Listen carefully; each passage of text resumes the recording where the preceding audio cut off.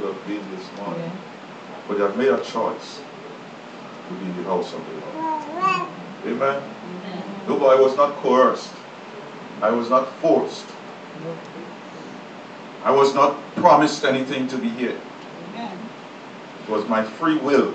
Amen. I chose to come yes. in the presence of God. David said, I'd rather be a doorkeeper in the house of the Lord than yes. to dwell in the tents of wickedness. I'd rather that myself. Hallelujah. So I thank God this morning. I want you to look with me in your Bibles to Matthew's Gospel, chapter 14.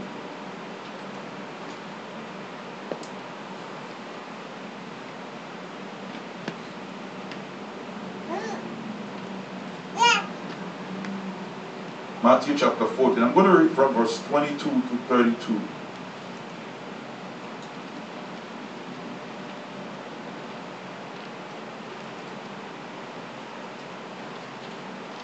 And straightway Jesus constrained his disciples to get into the sh a ship and to go before him unto the other side while he sent the multitudes away.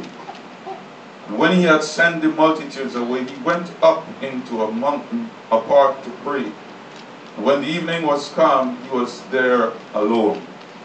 But the ship was now in the midst of the sea, tossed with waves, for the wind was contrary. And in the fourth watch of the night, Jesus went unto them walking on the sea. And when the disciples saw him walking on the sea, they were troubled, saying, Is it a spirit? It is a spirit. And they cried out for fear. But straightway Jesus spake unto them, saying, Be of good cheer. It is I. Be not afraid. Peter answered him and said, Lord, if it is you, if it be thou, bid me come unto thee on the water. And he said, Come. And when Peter was come down out of the ship, he walked on the water to go to Jesus. But when he saw the wind boisterous. He was afraid and beginning to sink, he cried, saying, Lord, save me. Immediately Jesus stretched forth his hand and caught him, and said unto him, O thou of little faith, wherefore didst thou doubt? When they were come into the ship, the wind ceased. I want to speak to you this morning on the topic your storm is over. There is a handout. Your storm is over. There is a handout. Not a handout, but there is a handout. Turn you the person next to you and see there is a handout not a handout. People don't like handouts, especially West Indians. Am I right? Yeah. West Indians don't like handouts. But there is a handout for you, not a handout. You got it? Yes. Because of my line of work, I follow the financial markets closely. I follow the trends in the economy. Because it helps me in planning, helps me in knowing how to advise people correctly in terms of financial planning. Over the last number of years, the last 10 years basically, the economy has been in an upward and downward swing. Sometimes things are doing well, sometimes things seems to be falling apart. In the financial industry, they say when bonds go up, stocks go down. There's an inverse, what is called an inverse relationship. So Sometimes people invest in stocks and when it begins to fail, there is a lot of grumbling. And many times it results in job losses. Several years ago, when the financial markets begin to crumble, many people lost money, people lost jobs. Many people lost everything they saved in investments for years. They lost it. Some committed suicide. Every year the city is saying we're cutting. If we look at what is happening now, subway fare continue going up. And our salaries are going nowhere. When we go to the supermarket, every time we go there, it seems as though something is going up. You know, a few couple years ago, I looked at Pastor, I, I like sardines, and a can of sardine was 79 cents, and they had about five or six in the can. And one time I bought a can of sardines and there was four and it was a dollar 29. And I said to myself, who is tricking who? So you're giving me less, but you're charging me more. And that's what is happening. You go to the gas pump, and every time you go is a, is a nickel or a dime more you're paying for a gallon of gas. And they tell you if you use your, your credit card, you have to pay more than if you use cash. So somebody is fooling somebody. But this is the age in which we live. And people are, are crying out for help. People are looking for handouts.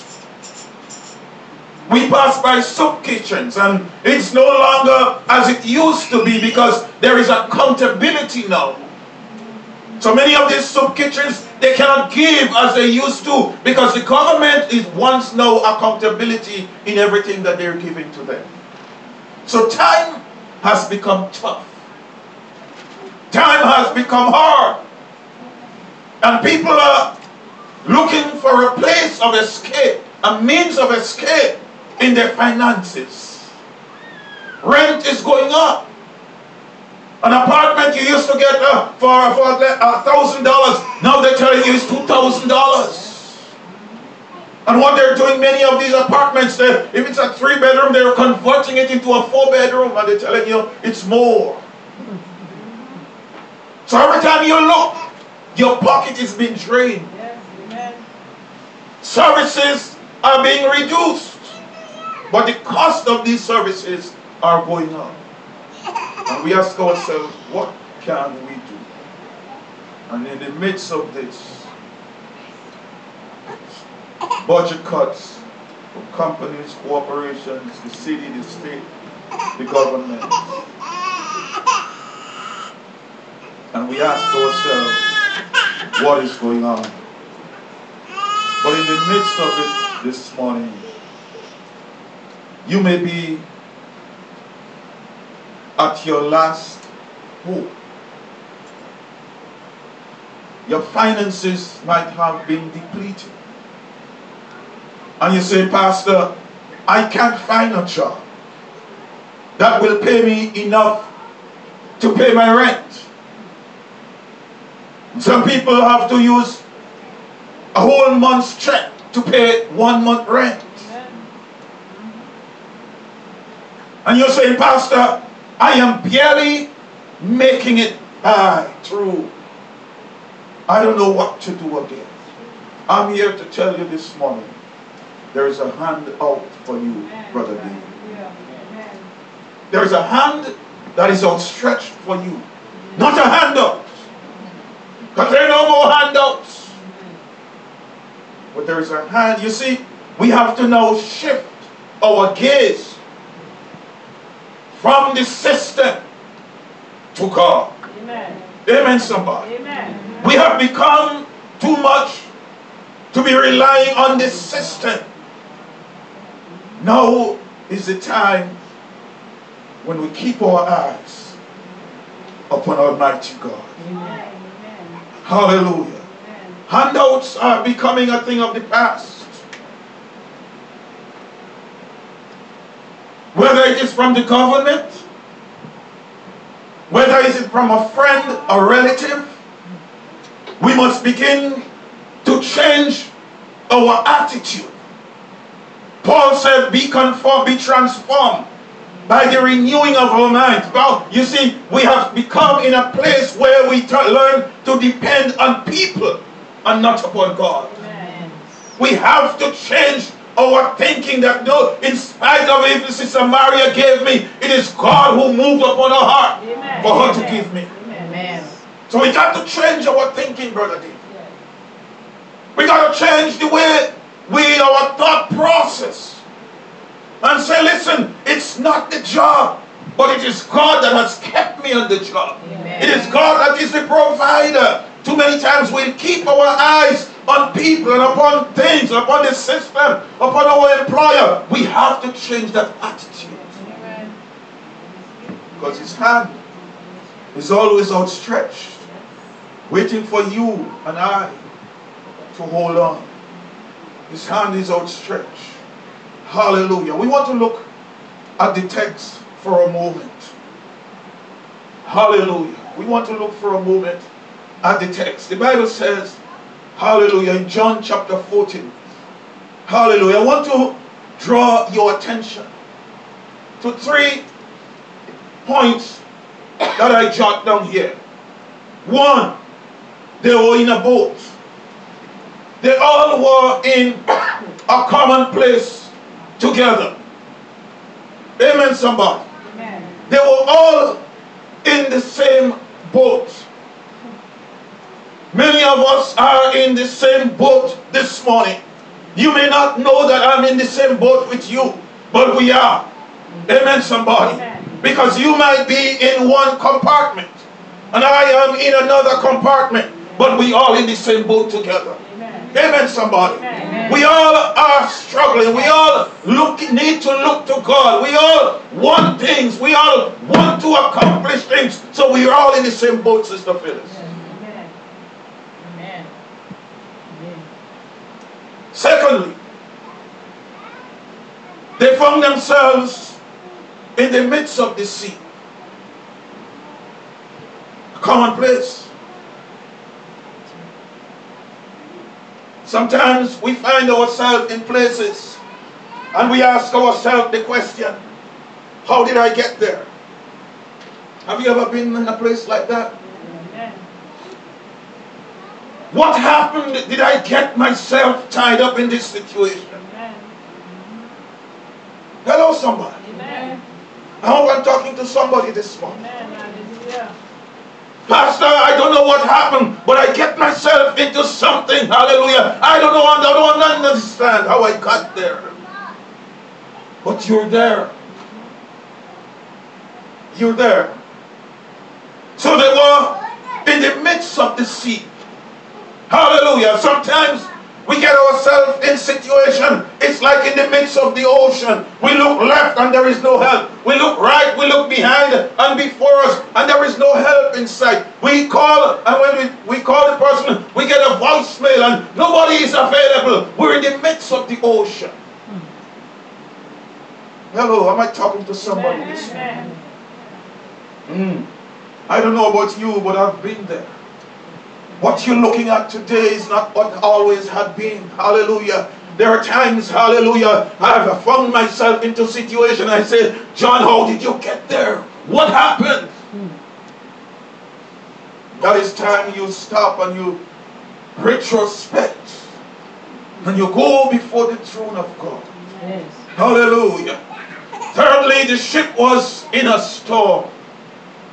And the word storm in the Greek means torment or to harass, to torture. Storm. Anybody been through a storm? Mm, anybody been through a storm? Amen. Hallelujah.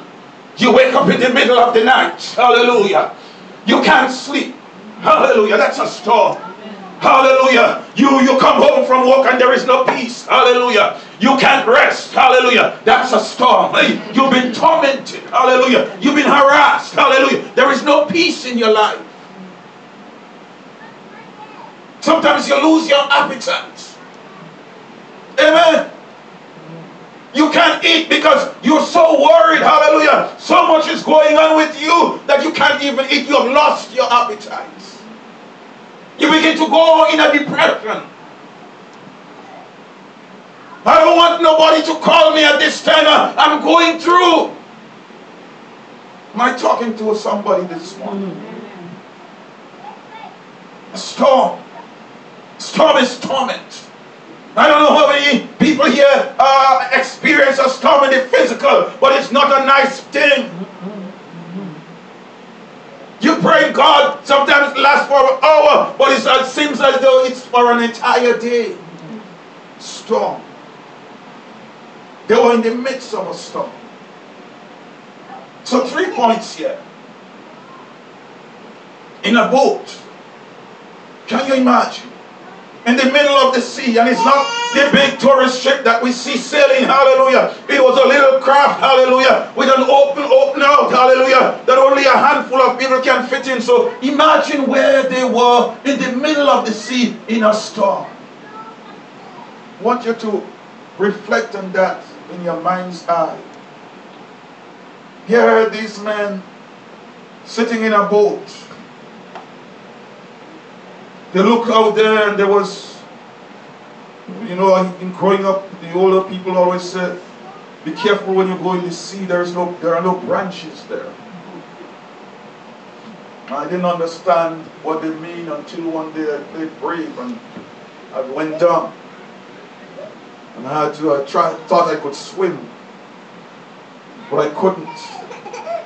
And it was a time for me to learn to swim. I was forced to swim because I played brave by following two other guys. There's no branches, they say. And then I realized what the older people were saying when they say there are no branches out there. But I want us to see something. That even before the disciples were experiencing the turmoil in their life on the sea, and even before they saw Jesus, they were going through their problems. The problem is not unique to you alone. Always remember that what you're going through, somebody had already been there. Somebody that you don't know, you may not know, is going through the same thing. So you're not alone. So it is not something new to God, Pastor. It's not something that He is not acquainted with. For the Bible tells us He's familiar, He's acquainted with our griefs and our sicknesses and our sorrow. He's well acquainted. So He's able to take care of what is happening. You might be feeling the effects of the storm more than I am. That's because where you are now, how come only Peter? They all were in the boat. They all were feeling the effects of the storm. But one of them said, Jesus, if it is you, tell me come. Brother Dennis, the all were in the boat. Who will want to? Why didn't Peter say, Jesus, calm the waves?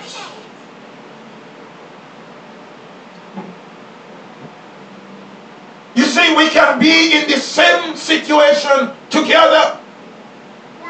You and I can be in the same situation, but we can come out of it with different results. Amen. They all were in the boat. But here, Peter, the waves were bellowing, the winds were blowing. But he looked at Jesus And he said, Master, if it is you, tell me come.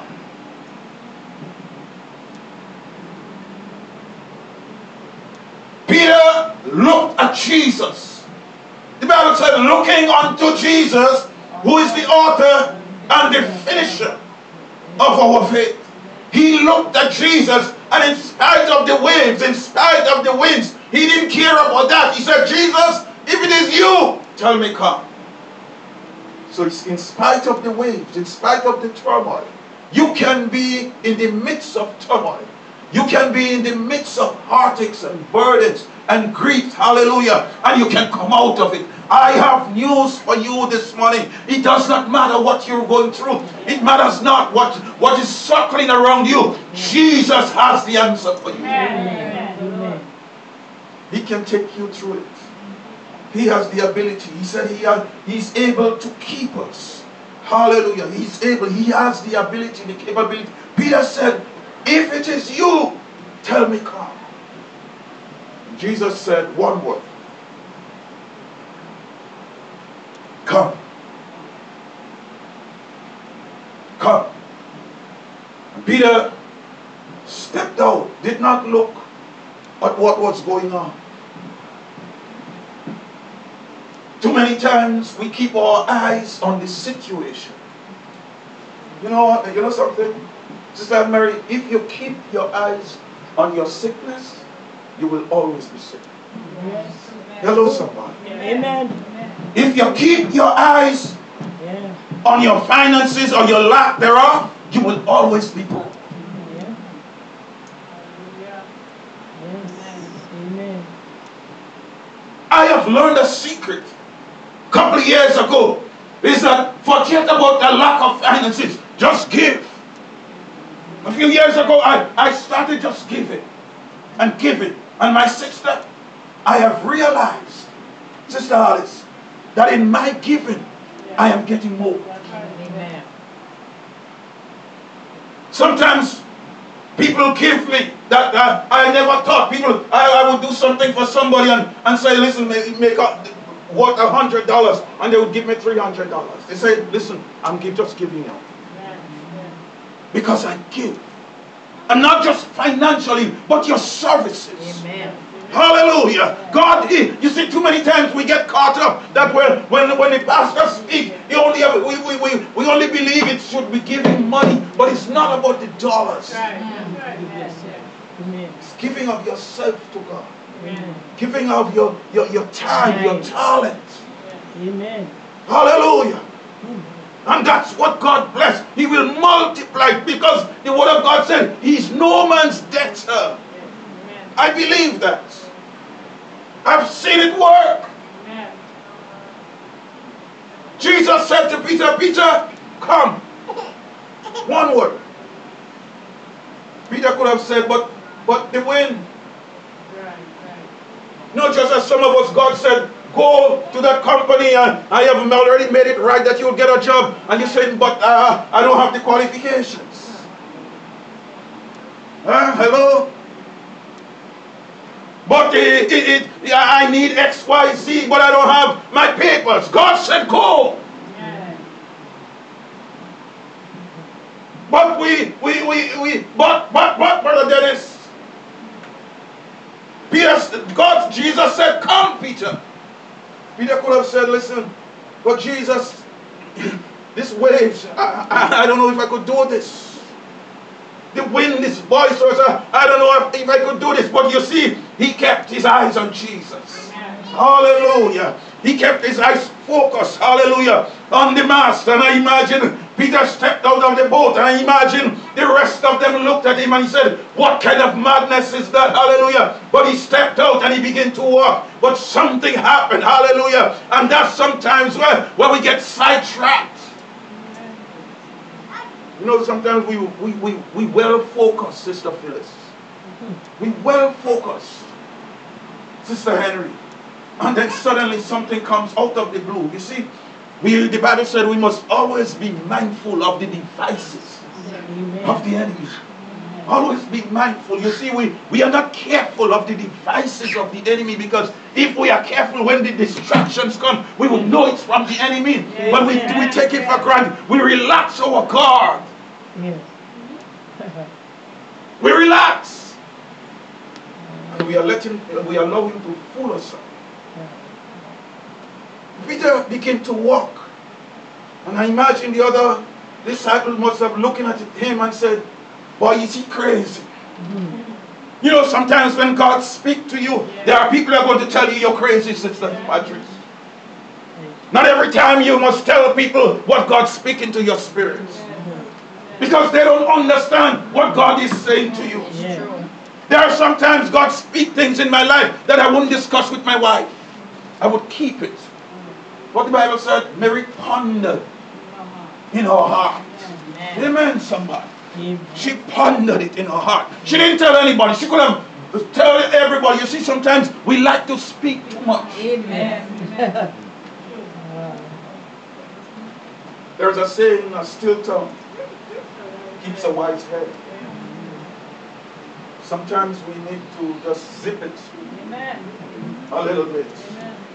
When God speaks things in your life, hallelujah, it's not for you to tell everybody all the time. Sometimes God wants you to just keep it, hold it, and watch Him work. But from the time you begin to tell people, they say, This is not how it's done. Hallelujah. Right. That's not the way you should do it. Hallelujah. Yes. And it begins to sow, hallelujah, doubt in your mind. Nothing is going to be accomplished. Hallelujah. When God speak it, Brother David, hold on to it. Because trust me, it's going to come true. Amen. I have no question. I, I can put my life on that. When God speaks it, it's going to come true. Yes. Amen. It's going to come true. Peter began to walk. But as he began to walk, he got distracted. Like so many of us. Mhm. In our walk with God, we get distracted. And once we get distracted, doubt begin to step in. One percent doubt is a hundred percent unbelief. Are you getting me this morning? One percent doubt is a hundred percent unbelief. Once doubt step in, begin to move his eyes from Jesus. And as he began to do that, he saw the waves. He saw the winds that were there when he stepped out. He saw the waves that was there even when he stepped out. But now he began to see. And now he began to question God. Am I going to make it to you, Jesus? Hallelujah. I imagine he looked at the waves and he looked at the sea and he looked at the winds and he and he was saying, "Ah, Man, I don't know if I'm going to make it. Doubt began to step in, Sister Gwen. The Bible said you begin to sing. But thanks be unto God. You're not going to sing. I bring you good news today. You're not going to sing. Hallelujah. I don't know what you're going through this morning. But I'm here to tell you today, hallelujah, you're not going to sink because there is a hand outstretched Stretch. Amen. for Hallelujah. you. Amen. Hallelujah. Might be financial, might be spiritual, might be economical. Hallelujah. I don't know what you're going through. Hallelujah. But I'm here to tell you today, hallelujah, that there is a hand outstretched. There is a hand out waiting for you. But you must make the move. Hallelujah. You see, God is not like a bulldozer. He will not bulldoze his way into your life. No. But he's waiting for you. His hand is already outstretched. Yes. So what you, what are you waiting for? What are you going to do? What are you going to do? Disciples, the rest of them stopped, sat in the boats. But Peter was the brave one. He left the security and the comfort of the boat. And he said, I want to come to meet you, Jesus. How many of us sometimes God speaking to our spirit and say, Leave where you are. God told Abraham, Abraham was very comforted in his homeland. But God told him, said, Abraham, leave where you are and go someplace where I am going to show you later. And Abraham could have said, Well, you got to show me where you want me to go. You see, many times, Sister Patrice, we want to see ahead so that we can make a decision. But God already know what He's doing in your life. God is saying, go up the street, walk towards uh, Church Avenue. But you, you, but you're saying, listen, God, I, I'm going to pass this other way. Like God doesn't know what He's telling you. You know, sometimes we behave with God as though He's a elementary student.